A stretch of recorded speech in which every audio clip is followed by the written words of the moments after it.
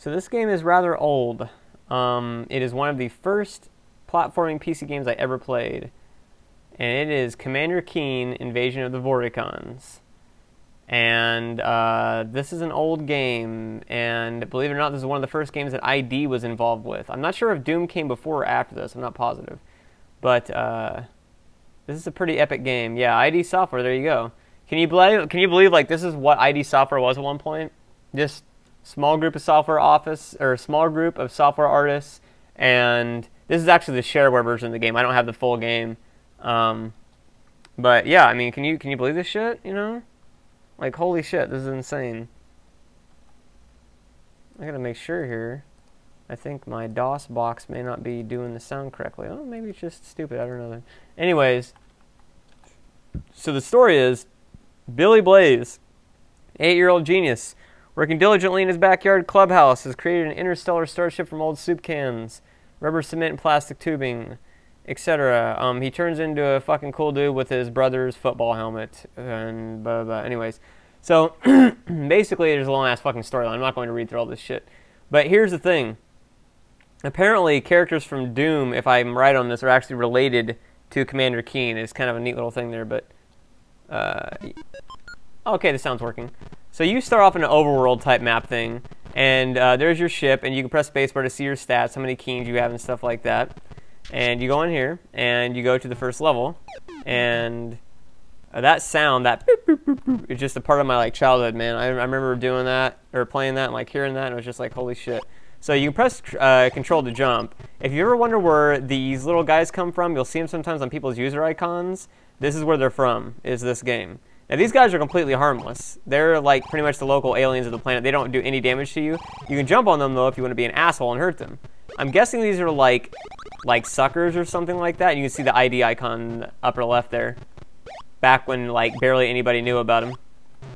And um, go up here. You know, you don't really see that too much nowadays, you know. It's like you don't really see a company just make little games like this and then bam, they hit like the big time randomly, you know. And apparently the language, the alien language here actually has a translation, but I'm not sure what it is. Those things will kill you. It is one hit kill for those fuckers. Now we don't have the, uh, do we have the gun yet? Or I believe it's control and alt to fire. Now that is a really awkward fucking control scheme, but that's how it was back in the day. So control and alt fires. If you control and alt fire one of these motherfuckers, they die. And this always kind of freaked, not really freaked me out, but kind of weirded me out as a kid. Like, what is that thing in the middle of them? Like, I always thought it was like their exposed heart or something like that, and I like blew a hole in them, and now they're like, they're obviously dead, but like their exposed heart is there. Like, I don't know what that is. Like, that always kind of freaked me out as a kid. I was just like, eh. And then, obviously that kills you the spikes. And again, this is one of those things where like, you know, I'm sure to a lot of you people watching this and stuff like this now, you know, in today's era, this is like LOL, noob sauce, shitty sound, shitty graphics, all that stuff. But you have to remember, like, when this came out, this was like fucking amazing for a PC game. This was like, goddamn. This was basically like, this and Jazz Jackrabbit were basically like the Mario Brothers and like Sonic of PC platforming games. I mean, they really were. They pretty much, that was it. Those were the benchmarks right there. More accurately, this is probably like Mario and then Jazz Jackrabbit was more like Sonic. Both in personalities of characters and overall gameplay. So you can go into this little thing here, and you go up here, and there's a light shining down. But we don't really need to care about that. And here's this dude. You touch him, and he says, It is too bad you cannot read the standard galactic alphabet. And then he says, Fuck off. So this character, this, this series has a bit of like Calvin and Hobbesism, where it's like, like you're made to believe that this is all really happening. This character's like on Mars and stuff like that. But then there's also kind of the sense that it's all gets in the character's head. So you don't really know which it is, as far as I know. It's never really confirmed. So you get pizza. This is like the first level that actually like makes you do a little bit of like platforming, you know. Kind of run. Now you need a yellow key card to get in there. The Doom influence is already there. Again, I can't remember if Doom came out first or this, but the influence is already there.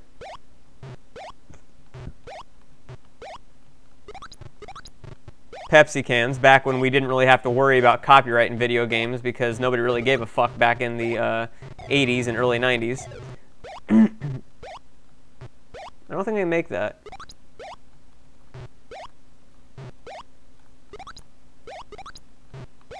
Now, is there... Okay, yeah, there's a, there's an actual score, so you get an extra life at 20,000 points.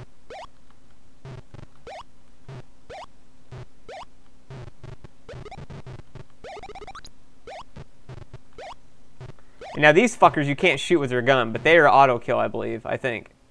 No, they're not auto kill. They just push you off the edge like fucking assholes. I don't think you can hurt them. No, yeah, they're invincible. So they're basically like somewhat harmless versions of those guys from uh, Mega Man. So I got the yellow key card. So I believe we need to go back down here.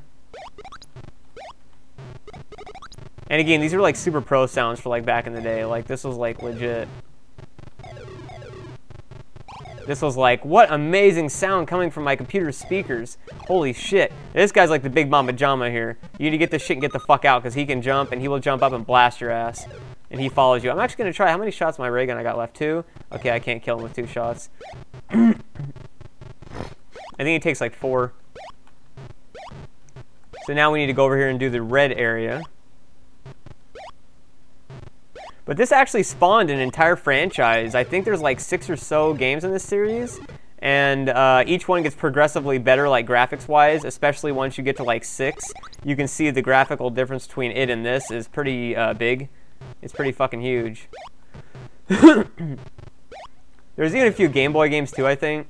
There's actually an entire, like, uh, another set of episodes that were supposed to come out, but they never got the funding for it and I guess it's still kind of in limbo, like it could come out, but they kind of all want like the original team and everything, and they don't think it's gonna happen. So, unfortunately, not.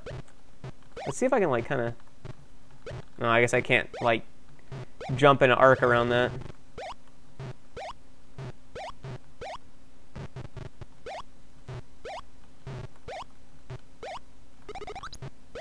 Yeah, I remember playing this so much as a kid. I had like all these like demo discs and shit. Oh my god, it was so fun. Now this guy's a real dick. This guy will actually, I think, fire at you. He don't even give a fuck. So you kind of got to be careful around this dick. And you have to kill him. You've only got a certain number of shots you can kill him with. I think he takes five. Okay, four. And then he gets the fuck out of dodge. So then you use the red key and you get the battery and you're like, yeah, yeah. so now you actually need to get ship parts as noted earlier in the storyline, which I sort of skipped over. And um, we've got the battery. We're going to need the joystick and the vacuum and apparently the alcohol which again back in the day nobody really gave a fuck about mentioning alcohol or cigarettes back in games. Of course now they do because that's so bad. Oh my god. It's okay to blow somebody's head off, but cigarettes and alcohol, oh Jesus. Notice that sign said pogo even though it was all like in English, or even though it was all like in an alien language.